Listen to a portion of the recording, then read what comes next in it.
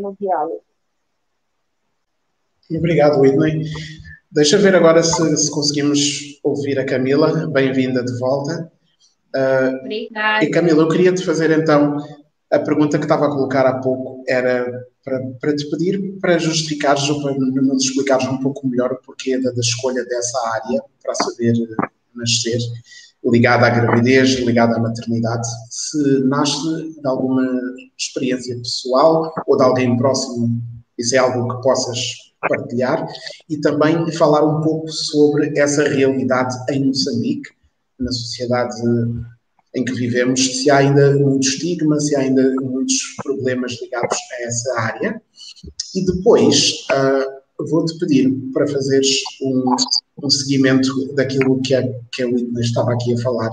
Nós estávamos a falar acerca do como é que as pessoas reagem quando ouvem uma, uma jovem como, como tu, por exemplo, a dizer sou ativista ou feminista se há algum tipo de, estigma, se há algum tipo de, de, de, preconceito ainda. Então a Whitney estará a partilhar a sua experiência e estou curioso agora a ouvir a tua também. Uh, bem, a Saber Nascer surge uh, de uma experiência pessoal que eu tive. Em 2018, uh, ah, eu tive uma experiência, eu acho que é a pior experiência que uma mulher pode ter e também é a pior experiência da minha vida. Eu passei por um processo de gravidez, gestação um pouco conturbado e ao completar nove meses eu entrou, tem que sair, né? Tinha que dar o parto, tinha que ter o bebê e Neste, neste momento que eu vou lá à unidade sanitária para ter o meu bebê, eu verifiquei por vários, por vários, uh, em vários momentos que eu não estava a ter um, um, um atendimento como deveria ser. Um, mas depois de várias coisas, várias ações que, que eram totalmente desagradáveis, eu tive o meu bebê uh, e a posterior, quando eu digo a posterior, um, depois de dois dias o meu bebê perde a vida. E eu tive aquele sentimento e depois veio a provar-se mais tarde, mas inicialmente eu tive aquele sentimento de eles poderiam ter feito alguma coisa pelo meu filho porque eu pedi várias vezes ajuda, eu pedi várias vezes por socorro, eu chamei a, a, as profissionais de saúde, as pessoas que estavam ali, e ninguém me deu atenção. E fui vista como aquela pessoa, porque infelizmente, já fazendo uma ponte com a realidade moçambicana, infelizmente nós estamos em um país que predomina primeiro o patriarcado, Segundo, a mulher é vista como uma mulher, um, um, um ser sem direitos. Terceiro, a mulher se pergunta demais, se quer saber, na verdade, nem é perguntar demais, se na verdade a mulher quer saber o que, que está a acontecer com o seu corpo, que é o seu território. Os profissionais de saúde, alguns profissionais de saúde veem aquilo como uma afronta, veem aquilo como uma, uma, uma situação não boa. Ou seja, esta pensa que sabe muito, então vamos lhe deixar sofrer. E foi exatamente assim como eu me senti. E, infelizmente, depois de dois dias, meu filho acabou, uh, supostamente, acabou perdendo a vida eu digo supostamente porque não me foi apresentado, por exemplo, o corpo desse bebê que diziam que morreu. Então, eu só posso dizer supostamente, não tem como. Um, e no momento que eu recebo a notícia que eu perdi o meu bebê, depois de uma semana, duas semanas a tentar assimilar aquela situação que para mim era uma situação totalmente nova, eu não estava a perceber o que, que estava a acontecer, por que, que, é, por que, que um bebê que nasceu bem veio a perder a vida e por que é que aquilo estava a acontecer exatamente comigo. depois de muito tempo, eu fui falando com, a, com algumas pessoas próximas a mim, uh, pessoas que também não eram próximas a mim. Eu fui pesquisando, fui, fui ouvindo as histórias de outras mulheres e não era diferente. Não era diferente, porque a maior parte das mulheres sempre tem uma história negativa para contar no contexto obstétrico.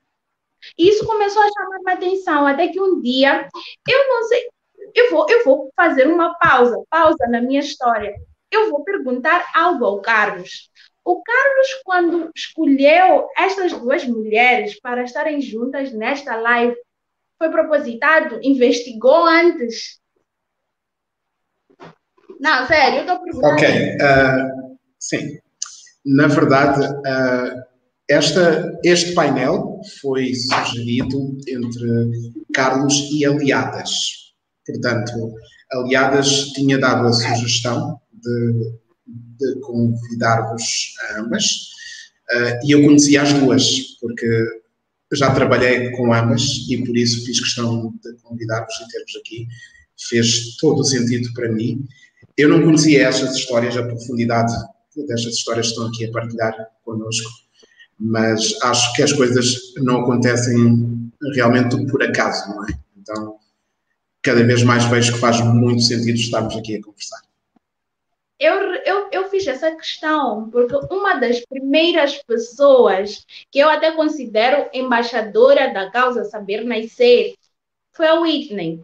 Eu, depois de muito tempo sem, sem encontrar a Whitney, um belo dia nós marcamos um chá Vê só. E nesse chá eu contei a minha história a Whitney. E a Whitney disse: por que, que não transformas isso em um, em um projeto? Vamos transformar isso em um projeto, porque muitas outras mulheres estão a passar por isso e precisam de alguém, precisam de uma organização que as represente. E eu lembro-me que várias vezes eu ia entregar o projeto ao Whitney, e dizia, não, ainda não está bom, volta, vai trabalhar, não, ainda não está bom, volta, vai trabalhar. Mas essas idas e vindas foram muito importantes, porque foi através daquele momento que eu tive com a Whitney, foi através daquele momento que eu estava na ida, ida e vinda, ida e vinda, que eu percebi que muitas mulheres precisavam deste momento. Muitas mulheres precisavam deste movimento. Quando eu recebo essas histórias de outras mulheres, eu levo estas histórias como minhas. E eu comecei a ver que faz sentido eu estar neste movimento, faz sentido eu fazer este movimento porque realmente as mulheres precisavam disto. E, bem, o início não foi fácil, porque eu já tinha um, uma pré-concepção de que isto seria difícil, seria muito complicado, porque eu estaria a lidar diretamente com, com entidades públicas, com o governo, com a saúde nacional, e eu tinha que ter muita cautela. Mas graças a Deus, com várias parcerias a nível nacional e parcerias a nível internacional, eu consegui descobrir uma linhagem que não ferisse nem o governo e nem deixasse de lado a voz das mulheres, o sofrimento destas mulheres. Então, assim surgiu a Saber Nascer. A nossa primeira ação pública foi em 2020, não, em 2018, que foi a Onda de Luz, que é, uma, é, um, é um evento, é uma campanha internacional que nós, pela primeira vez, implementamos em Moçambique. Graças a Deus, nós tivemos vários pais, várias, várias famílias que abraçaram esta campanha. Um, depois disso tudo, depois de, de, de, desta primeira ação, em 2020 nós voltamos ao ativo com mais força, com mais identidade e cá estamos. Saber Nascer surgiu assim, de uma história. Eu costumo dizer que nós saímos do luto para a luta. E é a luta de todas as mulheres, é a defesa dos direitos das mulheres no contexto de pré-natal, parto e pós-parto.